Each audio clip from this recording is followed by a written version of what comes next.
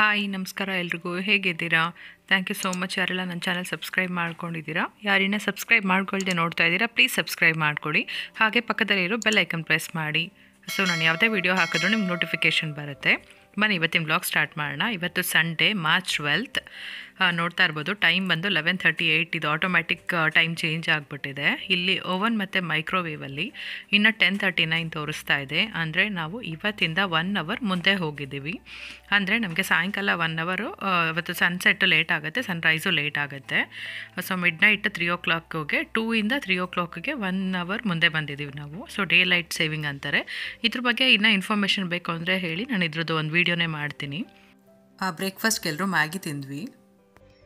ಇವತ್ತು ಚಿಕನ್ ದೊನ್ನೆ ಬಿರಿಯಾನಿ ಮಾಡೋಣ ಅಂತ ನಾನು ಹೇಗೆ ಮಾಡ್ತೀನಿ ಅಂತ ತೋರಿಸ್ತೀನಿ. ನೋಡಿ, ಎಲ್ಲ ರೆಡಿ ಮಾಡ್ಕೋತಾ ಇದ್ದೀನಿ. ದೊನ್ನೆ ಬಿರಿಯಾನಿಗೆ ನಾನು ಏನಂದರೆ ಮೆಂತ್ಯ ಸೊಪ್ಪು ಹಾಕ್ತೀನಿ. ಮೆಂತ್ಯ ಸೊಪ್ಪು ಮತ್ತು ಕೊತ್ತಂಬರಿ, ಪುದೀನ ಮತ್ತು ಹಸಿಮೆಣಸಿನ್ಕಾಯಿ. ಇದಿಷ್ಟು ಎಣ್ಣೆಲಿ ಹುರ್ಕೋತೀನಿ.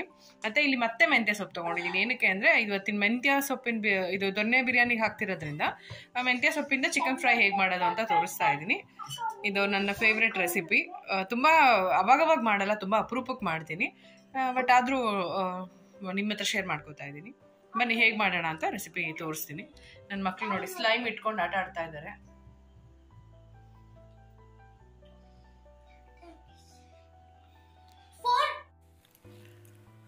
ಮೊದಲಿಗೆ ಸೊಪ್ಪುಗಳೆಲ್ಲ ತೊಳೆದಿಟ್ಕೊತಾ ಇದ್ದೀನಿ. ಮೆಂತ್ಯ ಸೊಪ್ಪು, ಕೊತ್ತಂಬರಿ ಸೊಪ್ಪು, ಪುದೀನ ಮತ್ತು ಹಸಿಮೆಣಸಿನ್ಕಾಯಿ ಎಲ್ಲ ತೊಳೆದಿಟ್ಕೊತಾ ಇದ್ದೀನಿ. ಏನಕ್ಕಂದರೆ ಸೆಪ್ರೇಟಾಗಿ ಎಣ್ಣೆಯಲ್ಲಿ ಹುರ್ಕೊಬೇಕು ಇದು ಸೊಪ್ಪುಗಳೆಲ್ಲ. ಹಾಗೆ ರುಬ್ಬಾಕಿದ್ರೆ ಅದು ಹಸಿ ವಾಸನೆ ಟೇಸ್ಟ್ ಚೆನ್ನಾಗಿ ಕೊಡೋದಿಲ್ಲ. ನೋಡಿ ಸಪ್ರೇಟ್ ಪ್ಯಾನ್ಗೆ ಈ ಥರ ಸ್ವಲ್ಪ ಎಣ್ಣೆ ಹಾಕ್ಕೊಂಡು ಸ್ವಲ್ಪ ಹಸಿಮೆಣಸಿನ್ಕಾಯಿ ಹಾಕಿ ಹುರಿದಿಟ್ಕೋತಾ ಇದ್ದೀನಿ. ಆ್ಯಕ್ಚುಲಿ ಹೌದು, ಇದು ನಾನ್ ಸ್ಟಿಕ್ಕು ಚೆನ್ನಾಗಿಲ್ಲ. ನನ್ನ ಹಸ್ಬೆಂಡ್ ಬಿಸಾಕು ಅಂತ ಹೇಳ್ತಾನೆ ಇದ್ದಾರೆ. ಬಟ್ ಇದರಲ್ಲಿ ನನಗೆ ಸ್ವಲ್ಪ ಕಂಫರ್ಟ್ ಅಡುಗೆ ನನಗೇನೋ ಚೆನ್ನಾಗಾಗತ್ತೆ ಅಂತ ಸೆಟ್ ಆಗಿಬಿಟ್ಟಿದೆ. ಅದರಿಂದ ಕಂಟಿನ್ಯೂ ಮಾಡ್ತಾ ಇದ್ದೀನಿ. ಖಂಡಿತ ಚೇಂಜ್ ಮಾಡ್ತೀನಿ ಇದು ಪ್ಯಾನು ಸೊ ಅದಾಯಿತು. ಇದಾದಮೇಲೆ ನೋಡಿ, ಸೊಪ್ಪುಗಳೆಲ್ಲ ತೊಳೆದಿರೋದೇನಿದೆ, ಅದು ಹಾಕೋತಾ ಇದ್ದೀನಿ. ಪುದೀನ ಮತ್ತು ಕೊತ್ತಂಬರಿ ಮೆಂತ್ಯ ಸೊಪ್ಪು ಇದೆಲ್ಲ. ಎಣ್ಣೆಯಲ್ಲಿ ಚೆನ್ನಾಗಿ ಅದು ನೋಡಿ, ಎಷ್ಟೊಂದು ಸೊಪ್ಪು ಕಾಣಿಸುತ್ತೆ ಅಲ್ವಾ? ಹಾಕಿದ ತಕ್ಷಣ ಎಣ್ಣೆನಲ್ಲಿ ಫ್ರೈ ಆಗ್ತಾ ಇದ್ದಂಗೆ ಸ್ವಲ್ಪನೇ ಆಗಿಬಿಡತ್ತೆ. ಸೊ ಈ ಥರ ರೋಸ್ಟ್ ಮಾಡಿಕೊಂಡು ಹಸಿ ವಾಸನೆ ಎಲ್ಲ ಹೋದ್ಮೇಲೆ ಎಲ್ಲ ಹುರಿದಿದ್ದಾದಮೇಲೆ ಹಾರಕ್ಕೆ ಇಟ್ಬಿಟ್ಟು ಅದಾದಮೇಲೆ ಮಿಕ್ಸಿಗೆ ಹಾಕ್ಕೊಂಡು ರುಬ್ಕೊಬೇಕು. ದೊನ್ನೆ ಬಿರಿಯಾನಿಗೆ ಮೇಯ್ನ್ ಇಂಗ್ರೀಡಿಯೆಂಟ್ ಬಂದು ಇದೆ. ಏನಂದರೆ ಗ್ರೀನ್ ಕಲರ್ ಬರಬೇಕು, ಮತ್ತು ಮೆಂತ್ಯ ಸೊಪ್ಪೆ ಅದಕ್ಕೆ. ಇನ್ ಕೇಸ್ ಯಾರ ಹತ್ರ ಆದರೂ ಫ್ರೆಶ್ ಮೆಂತ್ಯ ಇಲ್ಲ ಅಂತ ಅಂದರೆ ಕಸೂರಿ ಮೇಥಿ ಆದರೂ ಜಾಸ್ತಿ ಹಾಕೋಬೋದು. ಲಾಸ್ಟಲ್ಲಿ ಹಾಕೋಬೇಕಾಗತ್ತೆ. ಒಗ್ಗರಣೆಗೆ ಹಾಕಿದ್ರೆ ನಾರ್ಮಲ್ ಪಲಾವ್ ಟೇಸ್ಟ್ ಬಂದ್ಬಿಡುತ್ತೆ. ಸೊ ಲಾಸ್ಟಲ್ಲಿ ಹಾಕೊಂಡ್ರೆ ಮೇ, ದೊನ್ನೆ ಬಿರಿಯಾನಿ ಸೇಮ್ ಟೇಸ್ಟೇ ಬರುತ್ತೆ. ಈ ಥರ ಫ್ರೆಶ್ ಮೆಂತ್ಯ ಹಾಕೊಂಡಿದ್ರಿಂದ ಟೇಸ್ಟು ಚೆನ್ನಾಗಿರುತ್ತೆ. ಸೊ ಇನ್ನೊಂದು ಕಡೆ ಏನಂದರೆ ಇದು ಟೊಮೆಟೊ. ಟೊಮೆಟೊ ನಾನು ಹಚ್ಚ ಹಾಕ್ಕೊಳ್ಳೋದಿಲ್ಲ ಯಾಕಂದರೆ ನನಗದು ಇಷ್ಟ ಆಗೋದಿಲ್ಲ. ಟೊಮೆಟೊ ಅದು ಬರೀ ರೈಸ್ ಸಿಗಬೇಕು ಇದರಲ್ಲಿ ಅದಕ್ಕೋಸ್ಕರ. ನೋಡಿ. ನಾಟಿ ಟೊಮೆಟೊ ಮತ್ತು ಫಾರಮ್ ಎರಡು ಮಿಕ್ಸ್ ಮಾಡಿ ತೊಗೋತಾ ಇದ್ದೀನಿ. ಸೊ ಈ ಥರ ರಫಾಗಿ ಕಟ್ ಮಾಡ್ಕೋತಾ ಇದ್ದೀನಿ. ಏನಕ್ಕಂದರೆ ಮತ್ತು ಕೊದ್, ಹಸಿಮೆಣ್ಸಿನ್ಕಾಯಿ ಅದೆಲ್ಲ ರುಬ್ಕೊಂಡು ಹಾಕಿದ್ಮೇಲೆ ಅದೇ ಮಿಕ್ಸಿ ಜಾರ್ಗೆ ಇದನ್ನು ರುಬ್ಕೊಳ್ಳೋಣ ಅಂತ ಹೇಳಿಬಿಟ್ಟು ಇನ್ನೊಂದು ಕಡೆ ಚಿಕನ್ ತೊಳೆದಿಟ್ಕೊಂಡಿದ್ದೀನಿ ಒಂದು ಕೆ ಜಿ ಚಿಕನ್ ತೊಗೊಂಡಿದ್ದೀನಿ ಇಲ್ಲಿ. ಇಲ್ಲಿ ಸ್ವಲ್ಪ ಉಪ್ಪು ಅರ್ಶಿನ ಪುಡಿ ಮತ್ತು ಮೊಸರು. ಈ ಮೂರನ್ನು ಹಾಕ್ಕೊಂಡು ಕಲಸಿಟ್ಕೋತಾ ಇದ್ದೀನಿ. ಫಸ್ಟ್ ಸ್ಟಾರ್ಟ್ ಮಾಡಬೇಕಾದ್ರೇ ಈ ಥರ ಕಲಸಿಟ್ಕೊಂಬಿಟ್ರೆ ಎಲ್ಲ ಆಗಸ್ಟಲ್ಲಿ ನೀಟಾಗಿ ಮ್ಯಾರಿನೇಟ್ ಆಗಿರುತ್ತೆ. ನೋಡಿ. ಈ ಥರ ನೀಟಾಗಿ ಕಲಸಿ ಒಂದು ಒಂದು ಅರ್ಧ ಗಂಟೆ ಇಟ್ಟರೆ ತುಂಬಾ ಚೆನ್ನಾಗಿ ಚಿಕನ್ ಸಾಫ್ಟಾಗಿ ಬರುತ್ತೆ. ಟೇಸ್ಟ್ ಚೆನ್ನಾಗಿರುತ್ತೆ. ಸೊ ಇನ್ನೊಂದು ಕಡೆ ಇದು ಆರಿತ್ತು. ಅದಕ್ಕೆ ಮಿಕ್ಸಿಗೆ ಹಾಕೋತಾ ಇದ್ದೀನಿ. ರುಬ್ಕೊಂಬಿಡೋಣ ಅಂತ ಹೇಳ್ಬಿಟ್ಟು. ಏನೇನು ಬೇಕು ಅಂತ ತೋರಿಸ್ತಾ ಇದ್ದೀನಿ ನೋಡಿ. ಇದಿಷ್ಟು ಎಣ್ಣೆ ಹಾಕೊಂಡು ಎಣ್ಣೆಗೆ ಹಾಕೋಬೇಕು ಮಸಾಲೆಗಳು. ಚಕ್ಕೆ, ಲವಂಗ ಚಕ್ಕೆ, ಲವಂಗ, ಮೆಣಸು, ಮತ್ತು ಪಲಾವ್ ಎಲೆ, ಒಂದು ಮೂರು ಏಲಕ್ಕಿ, ಸ್ವಲ್ಪ ಮೆಂತ್ಯ, ಕಸೂರಿ ಮೇಥಿ ತೊಗೊಂಡಿದ್ದೀನಿ. ಮೆಂತ್ಯ ಸೊಪ್ಪು ತೊಗೊಂಡಿದ್ದೀನಿ, ಅದಕ್ಕೆ ಸ್ವಲ್ಪ ತೊಗೊಂಡಿದ್ದೀನಿ. ಮತ್ತು ಇದು ಕಲ್ಲು, ಮತ್ತು ಅನಾನಸ್ ಫ್ಲವರ್, ಇದಿಷ್ಟು. ಏನಂದರೆ ಇದನ್ನು ರುಬ್ಕೊಂಡು ಸ್ವಲ್ಪ ಗಸಗಸೆ ಹಾಕ್ಕೊಂಡು ಇದನ್ನು ಗರಂ ಮಸಾಲ ಥರ ನಾವು ಮಾಡ್ಕೊಬೋದು, ಇನ್ನೊಂದೆರಡು ಐಟಮ್ ಹಾಕ್ಕೊಂಡು ಸೊ ಇದು ಒಗ್ಗರಣೆಗೆ ಹಾಕೋತಾ ಇದ್ದೀನಿ. ಮಸಾಲ ಹಾಕೊಂಡ್ಮೇಲೆ ಸ್ಪೈಸಸ್ ಹಾಕೊಂಡ್ಮೇಲೆ ಈರುಳ್ಳಿ ಹಾಕೋಬೇಕು. ಈರುಳ್ಳಿ ಜಾಸ್ತಿನೇ ಬೇಕಾಗತ್ತಲ್ವಾ? ಸೊ ಅದು ತೊಗೊಂಡಿದ್ದೀನಿ. ಸಣ್ಣ ಕಟ್ ಉದ್ದದ ಕಟ್ ಮಾಡಿಕೊಂಡು, ಅದಾದಮೇಲೆ ಇದು ರುಬ್ಬ ಚಿಕನ್ ಮ್ಯಾರಿನೇಟ್ ಮಾಡಿ ಇಟ್ಕೊಂಡಿದ್ದೀನಿ ಮತ್ತು ಇದು ರುಬ್ಕೊಳ್ಳೋಕ್ಕೆ ಇದು ರುಬ್ಬಿ ಪೇಸ್ಟ್ ಹಾಕಿದ್ಮೇಲೆ ಟೊಮೆಟೊ ರುಬ್ಕೊಳ್ಳೋಣ ಅಂತ ಈ ಥರ ಕಟ್ ಮಾಡಿ ಇಟ್ಕೊಂಡಿದ್ದೀನಿ ಟೊಮೆಟೊನ ಏನಂದ್ರೆ ಹಚ್ಚು ಹಾಕೋಬೋದು ಬಟ್ ದೊನ್ನೆ ಬಿರಿಯಾನಿನಲ್ಲಿ ಅವಾಗವಾಗ ಇದು ಮದ್ಯ ಮದ್ಯ ಟೊಮೆಟೊ ಪೀಸಸ್ ಸಿಕ್ಕರೆ ಚೆನ್ನಾಗಿರಲ್ಲ, ಅದಕ್ಕೋಸ್ಕರ ರುಬ್ಕೋತಾ ಇದ್ದೀನಿ. ಬನ್ನಿ ಹೇಗೆ ಮಾಡೋದು ಸ್ಟಾರ್ಟ್ ಮಾಡೋಣ. ಫಸ್ಟು ಕುಕ್ಕರ್ ಇಟ್ಕೊಂಡಿದ್ದೀನಿ. ಎಣ್ಣೆ ಹಾಕೋತಾ ಇದ್ದೀನಿ. ತುಪ್ಪನೂ ಹಾಕೋಬೋದು ಬಟ್ ನಾನು ಬರೀ ಎಣ್ಣೆ ಹಾಕೋತಾ ಇದ್ದೀನಿ. ಚಿಕನ್ ಮ್ಯಾರಿನೇಟ್ ಇಟ್ ಮಾಡಿ ಇಟ್ಕೊಂಡಿದ್ದೀನಿ. ಏನಂದರೆ ಬೆಂಗಳೂರಲ್ಲಿ ಗ್ಯಾಸ್ ಸ್ಟವ್ ಇರೋರು ಚಿಕನ್ ಜೊತೆನೇ ಅಕ್ಕಿ ಕೂಡ ಮ್ಯಾರಿನೇಟ್ ಮಾಡ್ಕೋಬೋದು. ನೆನೆಸಿಟ್ಕೊಂಡ್ರೆ ಚೆನ್ನಾಗಿರುತ್ತೆ ಬಟ್ ಇಲ್ಲಿ ಸ್ವಲ್ಪ ಸ್ಲೋ ಆಗಿ ಅಡುಗೆ ಆಗೋದ್ರಿಂದ ನಾನು ಇದು ಸ್ಪೈಸಸ್ ರುಬ್ಬಿರೋದೆಲ್ಲ ಹಾಕಿ ಇನ್ನೇನು ಕುದೀತಾ ಇದೆ ಅನ್ಬೇಕಾದ್ರೆ ನೆನೆಸಿಟ್ಕೋತೀನಿ. ಅವಾಗ ಸರಿ ಹೋಗುತ್ತೆ. ಏನಂದರೆ ಇದು ಜೀರಾ ರೈಸ್ ತೊಗೊಂಡ್ರೆ ಚೆನ್ನಾಗಿರುತ್ತೆ. ಇದು ನಾರ್ಮಲ್ ರಾ ರೈಸು ಇಲ್ಲಿ ಸಿಗುತ್ತಾ ಇಲ್ವಾ ಅನ್ನೋದು ಡೌಟ್ ಅಲ್ವಾ? ಅದಕ್ಕೋಸ್ಕರ ನಾರ್ಮಲ್ ರೈಸಲ್ಲೇ ಮಾಡ್ತಾ ಇದ್ದೀನಿ. ಸೊ ಎಣ್ಣೆ ಕಾಯ್ದಿದ್ದಾದಮೇಲೆ, ಆ ಸ್ಪೈಸಸ್ ಎಲ್ಲ ಏನಿದೆ ಅದನ್ನು ಹಾಕೋಬೇಕು. ನೋಡಿ, ಅದಾದಮೇಲೆ ಈರುಳ್ಳಿ. ಈರುಳ್ಳಿ ಸಣ್ಣ ಕುದ್ದು ಕಟ್ ಮಾಡ್ಕೊಳ್ಳಿ. ಬಿರಿಯಾನಿಗೆ ಯಾವಾಗಲೂ ಒಳ್ಳೆ ಟೇಸ್ಟ್ ಇರುತ್ತೆ. ಸೊ ಇದಾದಮೇಲೆ ಚೆನ್ನಾಗಿ ಹುರ್ಕೊಬೇಕು ಕೆಂಪಗಾಗೋವರೆಗೂ ಈರುಳ್ಳಿ. ಅದಾದಮೇಲೆ ಶುಂಠಿ ಬೆಳ್ಳುಳ್ಳಿ ಪೇಸ್ಟ್ ಹಾಕೋತಾ ಇದ್ದೀನಿ. ಹಸಿಮೆಣಸಿನ್ಕಾಯಿ ಮತ್ತು ಕೊತ್ತಂಬರಿ ಜೊತೆನೇ ಶುಂಠಿ ಬೆಳ್ಳುಳ್ಳಿ ಎರಡು ರುಬ್ಬಕ್ಕೆ ಹಾಕೋಬೋದಾ ಅಂದರೆ ಇಲ್ಲ, ಬೇಡ. ನಾರ್ಮಲ್ ಪಲಾವ್ ಥರ ಆಗ್ಬಿಡುತ್ತೆ. ಸೊ ಈ ಥರ ಸಪ್ರೇಟಾಗಿ ಶುಂಠಿ ಬೆಳ್ಳುಳ್ಳಿ ಪೇಸ್ಟ್ ಹಾಕೊಂಡು ಹಸಿ ವಾಸನೆ ಹೋಗೋವರೆಗೂ ಹುರ್ಕೊಬೇಕು. ಅದಾದಮೇಲೆ ಮ್ಯಾರಿನೇಟ್ ಮಾಡಿ ಇಟ್ಕೊಂಡಿದ್ವಲ್ಲ, ಚಿಕನು ಮತ್ತು ಮೊಸರು ಎಲ್ಲ ಹಾಕಿ. ಸೊ ಅದನ್ನು ಈ ಟೈಮಲ್ಲಿ ಹಾಕ್ಬಿಟ್ಟು ನೀಟಾಗಿ ಹುರ್ಕೊಬೇಕು. ಚೆನ್ನಾಗಿ ಹುರ್ಕೊಂಡು ಎಣ್ಣೆ ಬಿಟ್ಕೊಂಡಿದ್ದಾದಮೇಲೆ ಏನು ರುಬ್ಬಿಟ್ಕೊಂಡಿದ್ವಲ್ಲ ಗ್ರೀನ್ ಕಲರ್ ಪೇಸ್ಟು, ಅದನ್ನು ಹಾಕೋತಾ ಇದ್ದೀನಿ. ಸೊಪ್ಪು ಮತ್ತು ಹಸಿಮೆಣ್ಸಿನ್ಕಾಯಿ ಇದೆಲ್ಲ. ಅದನ್ನು ಹಾಕ್ಕೊಂಡು ನೀಟಾಗಿ ಇನ್ನೊಂದು ಸರಿ ಚೆನ್ನಾಗಿ ಫ್ರೈ ಮಾಡ್ಕೋಬೇಕು.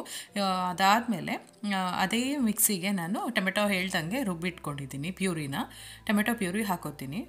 ನೋಡಿ, ಇವಾಗ ಎಣ್ಣೆ ಬಿಟ್ಕೊತಾ ಇದೆ ಅಲ್ವಾ? ಈ ಟೈಮಲ್ಲಿ ಟೊಮೆಟೊ ಏನು ರುಬ್ಕೊಂಡು ಅದನ್ನು ಪ್ಯೂರಿ ಮಾಡಿ ಹಾಕೋತಾ ಇದ್ದೀನಿ. ಸೊ ನೋಡಿ, ಹಚ್ಚು ಹಾಕೊಬೋದು. ಬಟ್ ಈ ಥರ ಮಾಡೋದ್ರಿಂದ ಪ್ಯೂರ್ ಸೇಮ್ ನಾವು ಹೋಟೆಲಲ್ಲಿ ಹೆಂಗೆ ಮಾಡ್ತೀವಲ್ವ ಸಿಗತ್ತಲ್ವ ದೊನ್ನೆ ಬಿರಿಯಾನಿ?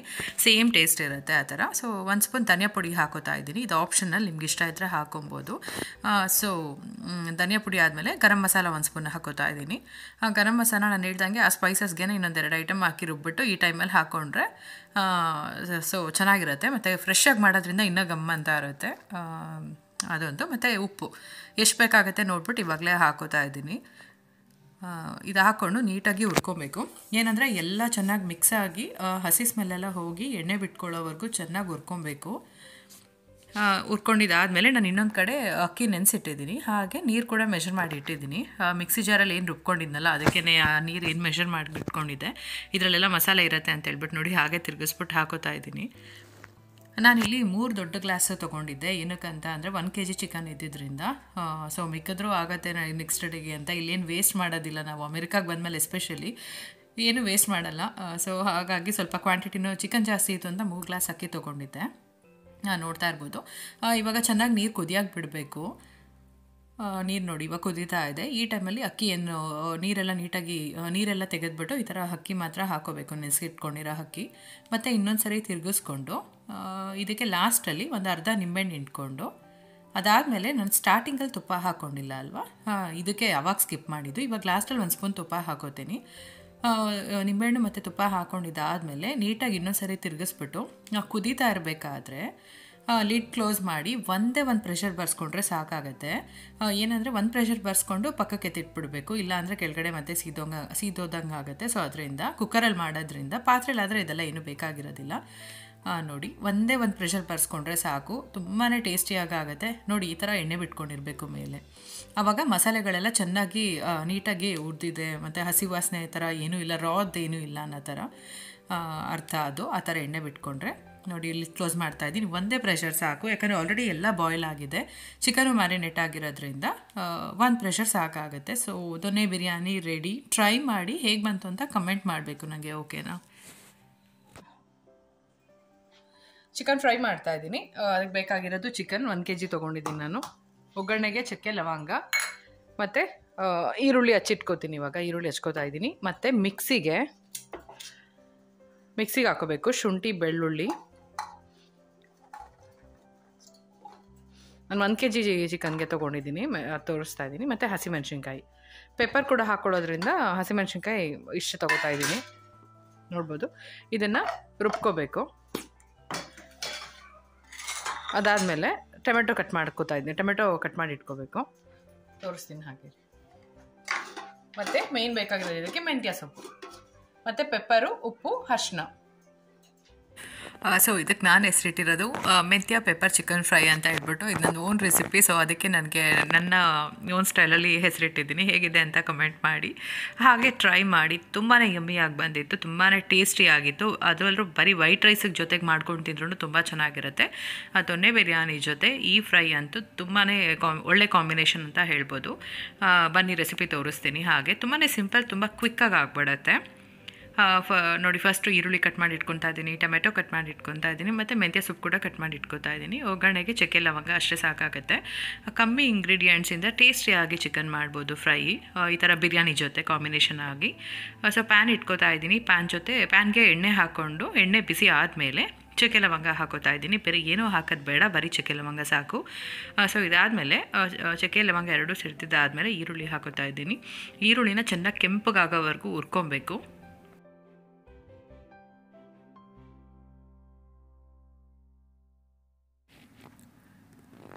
ಈರುಳ್ಳಿ ಚೆನ್ನಾಗಿ ಕೆಂಪಗಾದಮೇಲೆ ಇವಾಗ ಮೆಂತ್ಯ ಸೊಪ್ಪು ಏನು ಹಚ್ಚಿಟ್ಕೊಂಡಿದ್ವಲ್ಲ ಇದಕ್ಕೆ ಎಣ್ಣೆಗೆ ಹಾಕೋಬೇಕು. ಮೆಂತ್ಯ ಸೊಪ್ಪು ಈ ಥರ ಎಣ್ಣೆಗೆ ಹಾಕೊಂಡು ಚೆನ್ನಾಗಿ ಹುರ್ಕೊಳ್ಳೋದ್ರಿಂದ ಸ್ವಲ್ಪನೂ ಕೂಡ ಕಹಿ ಬರೋದಿಲ್ಲ ಅದು. ಎಲ್ಲೂ ಕೂಡ ನಾವು ಮೆಂತ್ಯ ಸೊಪ್ಪು ಹಾಕಿದ್ದೀವಿ ಅಂತಲೇ ಗೊತ್ತಾಗೋದಿಲ್ಲ. ಸೇಮ್ ಕಸೂರಿ ಮೇತಿ ಹಾಕಿದ್ದೀವೇನೋ ಅಂತ ಅನಿಸುತ್ತೆ ಲಾಸ್ಟಲ್ಲಿ ಆ ಥರ ಇರುತ್ತೆ. ನೋಡಿ ಎಷ್ಟೊಂದು ಸೊಪ್ಪು ಹಾಕ್ತೀವಿ, ಇಷ್ಟೇ ಇಷ್ಟ ಆಗ್ಬಿಡುತ್ತೆ. ನೋಡಿ ಸೊ ಒಂದು ಕಟ್ಟಲ್ಲಿ ನಾನು ಇಷ್ಟೆಲ್ಲ ಮಾಡ್ತೀನಿ. ಈಗಾಗಲೇ ಎರಡು ಯೂಸ್ ಮಾಡಿದೆ, ಇನ್ನೊಂದು ಸೊಪ್ಪಿನ ಸಾರು ಮಾಡಬೇಕು ಅಂದ್ಕೊಂಡಿದ್ದೀನಿ ಸೊ ಆಯಿತು, ಮೆಂತ್ಯ ಸೊಪ್ಪು ಹುರ್ಕೊಂಡಿದ್ದಾದಮೇಲೆ ಶುಂಠಿ, ಬೆಳ್ಳುಳ್ಳಿ ಹಸಿಮೆಣ್ಸಿನ್ಕಾಯ್ದು ಏನು ಪೇಸ್ಟ್ ರುಬ್ಬಿಟ್ಕೊಂಡಿದ್ವಲ್ಲ, ಅದನ್ನು ಹಾಕ್ಕೊಂಡು ಚೆನ್ನಾಗಿ ಹಸಿ ವಾಸನೆ ಹೋಗೋವರೆಗೂ ಚೆನ್ನಾಗಿ ಹುರ್ಕೊಬೇಕು. ಏನಕ್ಕಂದರೆ ಹಸಿಮೆಣ್ಸಿನ್ಕಾಯಿ ರುಬ್ಕೊಂಡಿದ್ದೀವಲ್ವ, ಸರಿಯಾಗಿ ಉರಿಲಿಲ್ಲ ಅಂದರೆ ಎದೆ ಉರಿ ಬರೋ ಚಾನ್ಸಸ್ ಇರುತ್ತೆ. ಸೊ ಅದರಿಂದ ಚೆನ್ನಾಗಿ ಎಣ್ಣೆಯಲ್ಲಿ ಫ್ರೈ ಮಾಡ್ಕೊಬೇಕು ರಾಸ್ ಮೇಲೆ ಹೋಗೋವರೆಗೂ. ಸೊ ರಾಸ್ ಮೇಲೆ ಹೋಗಿದ್ದಾದಮೇಲೆ ಚಿಕನ್ ತೊಳೆದಿಟ್ಕೊಂಡಿದ್ವಿ ಅಲ್ವಾ ಅದನ್ನು ಹಾಕೋಬೇಕು. ನೀರೆಲ್ಲ ಸೋರಿಸಿ ನೀಟಾಗಿ ಡ್ರೈ ಆಗಿ ಹಾಕೋಬೇಕು.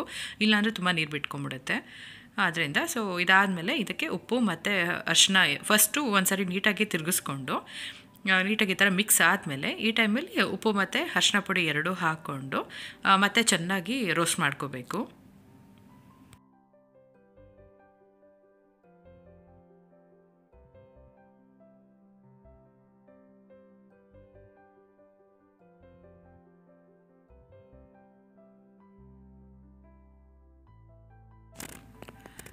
ಚೆನ್ನಾಗಿ ನೀರೆಲ್ಲ ಡ್ರೈ ಆದಮೇಲೆ ಇವಾಗ ಟೊಮೆಟೊ ಹಾಕೋತಾ ಇದ್ದೀನಿ.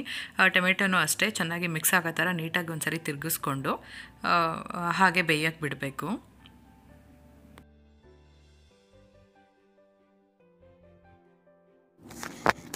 ನೋಡಿ ಇವಾಗ ನೀಟಾಗಿ ಟೊಮೆಟೊ ಎಲ್ಲ ಚೆನ್ನಾಗಿ ಸಾಫ್ಟಾಗಿ ಬೆಂದು ನೀರು ಬಿಟ್ಕೊಂಡಿದೆ.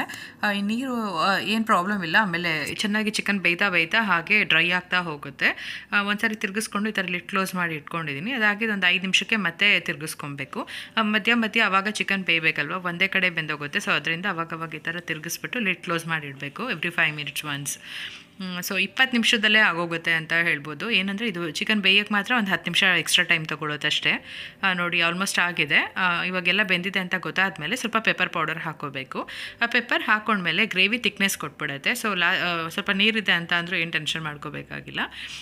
ಪೆಪ್ಪರ್ ಹಾಕ್ಕೊಂಡು ಒಂದ್ಸರಿ ತಿರುಗಿಸ್ಕೊಂಡು ಅದಾದಮೇಲೆ ಕೊತ್ತಂಬರಿ ಸೊಪ್ಪು ಹಾಕ್ಕೊಂಡ್ರೆ ರೆಡಿ ತುಂಬಾ ಟೇಸ್ಟಿ ಆ್ಯಂಡ್ ಯಮ್ಮಿ ಆಗಿರೋ ಮೆಂತ್ಯ chicken pepper fry ready try ಮಾಡಿ ನೋಡಿ. ಹೇಗೆ ಬಂತು ಅಂತ ಇದು ಕೂಡ ನನಗೆ ಕಮೆಂಟ್ ಮಾಡಿ ಓಕೆನಾ ದೊನೆ ಬಿರಿಯಾನಿ ಆಗಿರ್ಬೋದು, ಮತ್ತು ಈ ಚಿಕನ್ ಫ್ರೈ ಆಗಿರ್ಬೋದು, ಎರಡು ಕೂಡ ಟ್ರೈ ಮಾಡಿ, ಮತ್ತು ಕಮೆಂಟ್ ಮಾಡಿ. ತುಂಬಾ ಚೆನ್ನಾಗಿತ್ತು. ಬಟ್ ಏನೇನಂದರೆ ಲೇಟ್ ಆಗಿಬಿಟ್ಟಿತ್ತು. ನೋಡಿ ಲಾಸ್ಟಲ್ಲಿ ಅರ್ಧ ನಿಂಬೆಹಣ್ಣು ಹಾಕೋತಾ ಇದ್ದೀನಿ ಅದು ಹೇಳೋದು ಮರ್ತ್ಬಿಟ್ಟಿದ್ದೆ. ಸೊ ಅರ್ಧ ನಿಂಬೆಹಣ್ಣು ಹಾಕ್ಕೊಂಡು ಇನ್ನೊಂದ್ಸರಿ ಸರಿ ನೀಟಾಗಿ ಮಿಕ್ಸ್ ಮಾಡಿಕೊಂಡು ಮುಚ್ಚಿಡ್ತಾ ಇದ್ದೀನಿ. ಸೊ ಅಷ್ಟೇ ಆಯಿತು. ಏನಂದರೆ ಲಾಸ್ಟಲ್ಲಿ ಮಕ್ಕಳಿಗೆ ಊಟಕ್ಕೆ ಲೇಟ್ ಆಗಿಬಿಡುತ್ತೆ ಅಂತ ಅರ್ಜೆಂಟಾಗಿ ಕೊಡೋ ಟೈಮಲ್ಲಿ ನಾನು ಕುಕ್ಕರ್ ಓಪನ್ ಮಾಡಿ ತಿರುಗಿಸ್ಬೇಕಾದ್ರೆ ಮೀನ್ಸ್ ಸರ್ವ್ ಮಾಡಬೇಕಾದ್ರೆ ಫೋಟೋ ವೀಡಿಯೋ ಮಾಡ್ಕೊಂಡಿಲ್ಲ. ಅದು ಅದೊಂದು ಸ್ಕಿಪ್ ಆಗಿಬಿಟ್ಟಿದೆ. ಸೊ ನಾನು ಆಮೇಲೆ ನೆನಪಾಗಿ ಊಟ ಮಾಡಬೇಕಾದ್ರೆ ಫೋಟೋ ತೆಕ್ಕೊಂಡೆ. ಇದು ನಾನು ತಿನ್ನಬೇಕಾದ್ರೆ ನೋಡ್ತಾ ಇರ್ಬೋದು. ಪರ್ಫೆಕ್ಟಾಗಿ ಬಂದಿದೆ. ಸೇಮ್ ದೊನ್ನೆ ಬಿರಿಯಾನಿ ಮನೆಯಲ್ಲಿ ನಾವು ಹೇಗೆ ಬೆಂಗಳೂರಲ್ಲಿ ಹೋಟೆಲಲ್ಲಿ ತಿಂತೀವಲ್ವ? ಸೇಮ್ ಅದೇ ಟೇಸ್ಟ್ ಬಂದಿತ್ತು. ಜೀರಾ ರೈಸ್ ಹಾಕಿದ್ರೆ ಇನ್ನೂ ಚೆನ್ನಾಗಿರುತ್ತೆ. ಸೊ ಈಗ ಟೈಮ್ ನೋಡ್ತಾ ಇರ್ಬೋದು. ನಾನು ಮಧ್ಯಾಹ್ನದಿಂದ ಅರ್ಧ ರಾತ್ರಿ ಎರಡು ಗಂಟೆ ಕರ್ಕೊಂಡು ಬಂದಿದ್ದೀನಿ. ಏನಕ್ಕಂದರೆ ಅದಾದಮೇಲೆ ಮಕ್ಳಿಗೆ ತಿನ್ನಿಸಿದ್ದು ಅವ್ರಿಗೂ ಮತ್ತು ಎಣ್ಣೆ ಎಲ್ಲ ಹಾಕಿದ್ರು ಮಕ್ಳಿಗೆ ರಜಾ ಇತ್ತು ಸೊ ತಲೆ ಸ್ನಾನ ಏನು ಮಾಡಿಸ್ಲಿಲ್ಲ. ಅದಾದಮೇಲೆ ಅವ್ರ ಹೋಮ್ವರ್ಕು ಪ್ರಾಜೆಕ್ಟ್ ಈ ಥರ ಎಲ್ಲ ಇತ್ತು. ಎಲ್ಲ ಮುಗಿಸ್ಬಿಟ್ಟು ನಾನು ವೀಡಿಯೋ ಎಡಿಟಿಂಗ್ ಮಾಡೋಕ್ಕೆ ಕೂತ್ಕೊಂಡೆ. ಹತ್ತು ಗಂಟೆ ಕೂತ್ಕೊಂಡಿದ್ದಕ್ಕೆ ಇಷ್ಟೊತ್ತಿಗೆ ಮುಗೀತು. ನೋಡಿ, ಇವಾಗ ಪಾತ್ರೆಗಳೆಲ್ಲ ತುಂಬ ಪಾತ್ರೆ ಆಗಿಬಿಟ್ಟಿತ್ತು ಕಿಚನ್ ತುಂಬ. ಬೆಳಗ್ಗೆಯಿಂದ ತೊಳೆಯೋಕ್ಕೆ ಟೈಮ್ ಸಿಕ್ಕಿರಲಿಲ್ಲ ನನಗೆ. ಸೊ ಎಲ್ಲ ಕಂಪ್ಲೀಟಾಗಿ ಎಲ್ಲ ಕ್ಲೀನ್ ಮಾಡಿಬಿಟ್ಟು ಇವಾಗ ವಿಡಿಯೋ ಅಪ್ಲೋಡಿಂಗ್ ಕೊಟ್ಬಿಟ್ಟು ನಾನು ಮಲ್ಕೋಬೇಕು. ಆಲ್ಮೋಸ್ಟ್ ತ್ರೀ ಓ ಕ್ಲಾಕೇ ಆಗಿಬಿಡ್ತು. ಇದು ಸಂಡೇ ಮಿಡ್ ನೈಟ್ ಅಂದರೆ ನಮಗೆ ಇಲ್ಲಿ ಟೂ ಓ ಕ್ಲಾಕ್ ಅಂತ ಅಂದರೆ ನಿಮಗೆ ಟ್ವೆಲ್ ಥರ್ಟಿ ಆಗಿರುತ್ತೆ ಮಂಡೇ ಮಾರ್ನಿಂಗ್ ಸೊ ಇದು ಇದ್ರ ಬಗ್ಗೆ ನಿಮಗೆ ಡೇ ಲೈಟ್ ಸೇವಿಂಗ್ ಬಗ್ಗೆ ಇನ್ಫಾರ್ಮೇಷನ್ ಬೇಕು ಅಂದರೆ ಖಂಡಿತ ಹೇಳಿ. ನಾನು ನೆಕ್ಸ್ಟ್ ಬ್ಲಾಗಲ್ಲಿ ಮಾಡಿ ಅಪ್ಲೋಡ್ ಮಾಡೋಕ್ಕೆ ಟ್ರೈ ಮಾಡ್ತೀನಿ.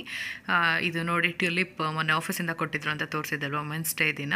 ಇನ್ನೂ ಚೆನ್ನಾಗಿ ಅರಳಿದೆ. ಮತ್ತು ಒಂದು ಚೂರು ಒಣಗಿಲ್ಲ, ನೀರಲ್ಲಿ ಇಟ್ಟಿರೋದು. ಎಷ್ಟು ದಿನ ಆಯಿತು? ಆಲ್ರೆಡಿ ಮಾರ್ಚ್ ಏಯ್ತಲ್ಲಿ ಕೊಟ್ಟಿದ್ದು. ಇದು ಮಾರ್ಚ್ ಟ್ವೆಲ್ತು ಸೊ ತುಂಬಾ ಚೆನ್ನಾಗಿತ್ತು. ನಿಮಗೆ ಇವತ್ತಿನ ವಿಡಿಯೋ ಇಷ್ಟ ಆಗಿದೆ ಅಂತ ಅನ್ಕೋತೀನಿ. ಇವತ್ತಿಂದು ಸಿಂಪಲ್ ವಿಡಿಯೋ ಮತ್ತು ಬ್ಯೂಟಿಫುಲ್ ಆಗಿರೋ ರೆಸಿಪಿ ಅಂತಲೇ ಹೇಳ್ಬೋದು. ಸೊ ನಿಮ್ಗೆ ಇಷ್ಟ ಆಗಿದ್ದರೆ ಈ ವಿಡಿಯೋ ಪ್ಲೀಸ್ ಲೈಕ್ ಮಾಡಿ ಶೇರ್ ಮಾಡಿ, ಹಾಗೆ ಕಮೆಂಟ್ ಮಾಡಿ. ಹಾಗೆ ಹಾಗೆ ಇನ್ನೂ ಯಾರು ನನ್ನ ಚಾನಲ್ ಸಬ್ಸ್ಕ್ರೈಬ್ ಮಾಡ್ಕೊಳ್ಳದೆ ನೋಡ್ತಾ ಇದ್ದೀರಾ ಪ್ಲೀಸ್ ಸಬ್ಸ್ಕ್ರೈಬ್ ಮಾಡ್ಕೊಳ್ಳಿ. ಹಾಗೆ ಇನ್ನೂ ಮುಂದಕ್ಕೆ ಇನ್ಫಾರ್ಮೇಟಿವ್ ವೀಡಿಯೋಸ್ ಮಾಡೋದಕ್ಕೆ ನನಗೂ ಮೋಟಿವೇಶನ್ ಸಿಕ್ದಂಗೆ ಆಗುತ್ತೆ. ಸಬ್ಸ್ಕ್ರೈಬ್ ಮಾಡ್ಕೊಳ್ಳೋದ್ರ ಜೊತೆ ಫ್ಯಾಮಿಲಿ ಆ್ಯಂಡ್ ಫ್ರೆಂಡ್ಸ್ಗೂ ಶೇರ್ ಮಾಡಿ ಸಬ್ಸ್ಕ್ರೈಬ್ ಮಾಡ್ಕೊಳ್ಳೋದಕ್ಕೆ ಹೇಳಿ ಥ್ಯಾಂಕ್ ಯು ಸೋ ಮಚ್ ಇಷ್ಟು ಪೇಷನ್ಸಿಂದ ನನ್ನ ವಿಡಿಯೋ ನೋಡಿದ್ದಕ್ಕೆ. ನಿಮ್ಮ ಅನಿಸಿಕೆ ಅಭಿಪ್ರಾಯಗಳಿಗೆ ಏನಿದೆ ಅದನ್ನು ಕಮೆಂಟ್ ಮೂಲಕ ತಿಳಿಸಿ ನನಗೆ ಸೊ ನಾಳೆ ಇವತ್ತಿನ ಸಂಡೇ ವ್ಲಾಗ್ ಎಂಡ್ ಮಾಡ್ತಾ ಇದ್ದೀನಿ. ಮತ್ತೆ ನಾಳೆ ಮಂಡೇ ವ್ಲಾಗು ಇನ್ನೂ ಇಂಟ್ರೆಸ್ಟಿಂಗ್ ಆಗಿರೋ ವ್ಲಾಗ್ ಆ್ಯಂಡ್ ರೆಸಿಪೀಸ್ ಜೊತೆ ಮತ್ತೆ ಸಿಗ್ತೀನಿ.